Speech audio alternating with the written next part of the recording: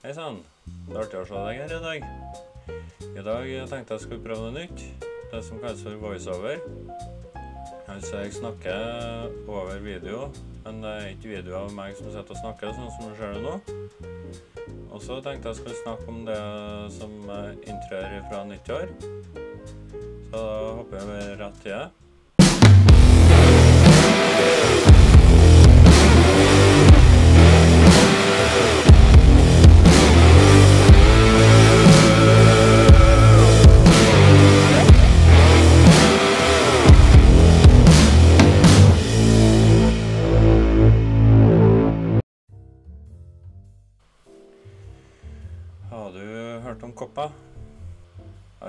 C-O-P-P-A.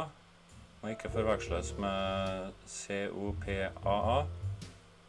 Det er en lov som FTC innførte fra 1998. Det står for Children's Online Privacy Protection Act. Og det er FTC, altså Federal Trade Commission, som står bak. Og ja, nå gjetter du riktig, det er amerikansk. Men eh, hvordan kan det påvirke oss eh, som ikke bor i USA? FTC bestemte seg for at de skulle revidere den loven her eh, litt tidligere enn det som var planlagt.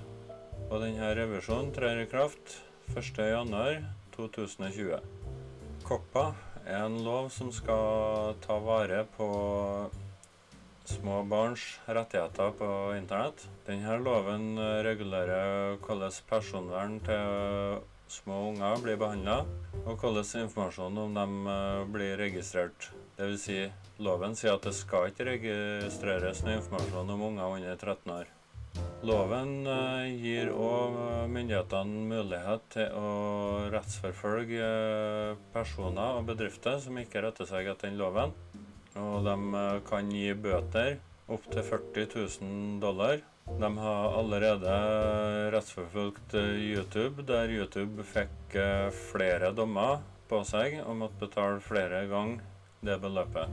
Derfor er de òg veldig opptatt av å innføre det nye YouTube for kids, og det at skapere skal merke videoene sine for barn hvis de mener at det er innhold i videoen som eh, er retta mot eller som kan rettes imot unger. Og Da er det alt fra innhold i videoen, det er tittel, og det er thumbnail. Men du sa jo at dette er jo noe amerikansk, tenker du sikkert nå. Eh, ja, det er jo amerikansk.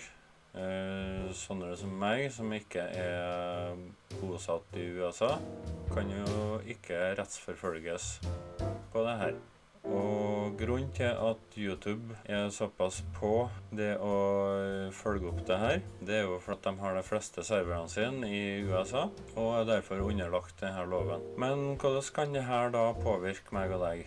Vi som ikke er amerikanere, vi som ikke bor i USA.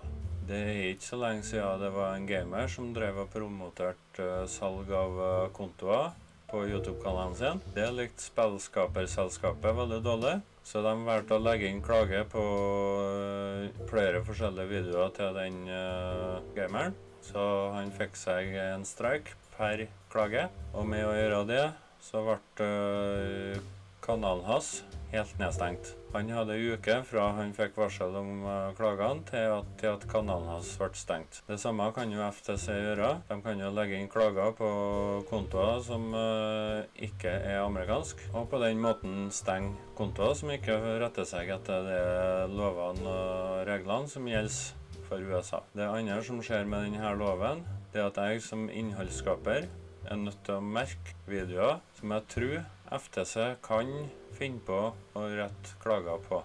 Og de retningslinjene de har lagt for dette her, det er jo ikke akkurat veldig smale saker. Det er så vagt at det nesten er alt innhold på YouTube kan straffes etter det her eh, lovene. Så det gjør det, føler jeg, litt skummelt å tenke på for min del.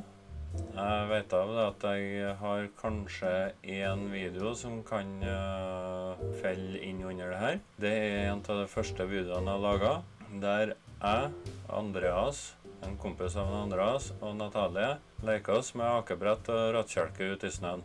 Det er faktisk en video jeg ser for meg kan uh, få en klage. Og bare noe så smått kan uh, felle store youtubere og få kanalene deres stengt. Kanskje du tenker da at uh, ja, men det er jo bare å merke den for uh, laga for barn. Så enkelt er det egentlig ikke. Hvis du merker filmen din laga for barn, så gjør det at den er ikke søkbar på YouTube. Den kommer ikke i forslagslista, sånn som i appen. Du har den første skjermen der. Den kommer ikke på sånne plasser. Den kommer ikke på trending. Den kommer ikke på forslag til andre uh, filmer du kan se.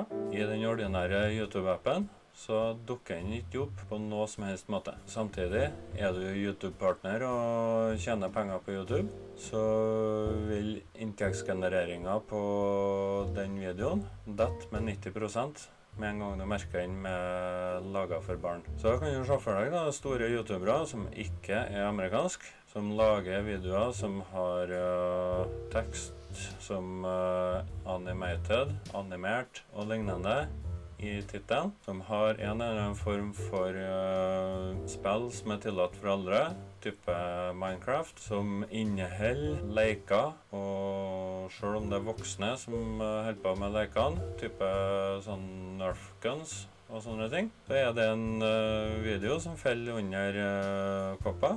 Men da, lett å si det er en populær video. Det genererer millionvis av uh, visninger. Som igjen genererer veldig stor inntekt til den skaperen som har lagt ut den videoen. 90% av det han har kommet til å tjent på den videoen, med en gang han er nødt til å merke den for laga for barn, så mister han 90 av inntekta si på den. Og Samtidig som det gjør til at vanlige folk ikke får sett den videoen i den vanlige YouTube-kanalen. I hvert fall ikke med mindre du følger vedkommende og får den opp i nyhetsfeeden din. Det gjør at den ikke dukker opp som en video du har kommet til å sett ellers. Det blir spennende å se fra 8.12., for da er det ei høring som uh, avsluttes. Det legger ut på ei nettside som uh, jeg ikke vet hvor igjen nå, men uh, det er vel under FTC sin nettside.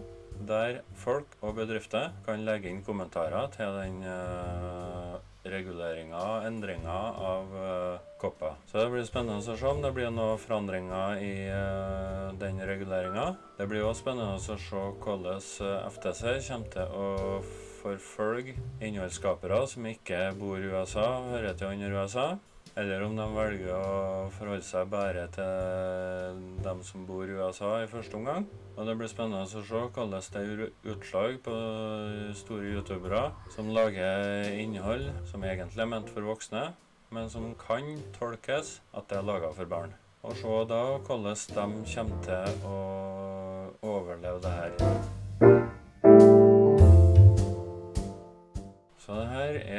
Egentlig veldig store forandringer som er på vei inn i YouTube. Og da gjelder det jo andre nettsider som har eh, base og servere i USA. Jeg er jo litt usikker på hvordan noen andre det gjelder, men det gjelder i alle fall YouTube. Hvilke forandringer vil du se i YouTube? Hva tror du?